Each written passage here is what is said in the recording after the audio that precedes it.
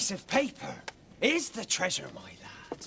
Tis a map showing all the trade routes. Using this map, we lies in wait for ships laden with silks from the Far East or sugar from the Caribbean.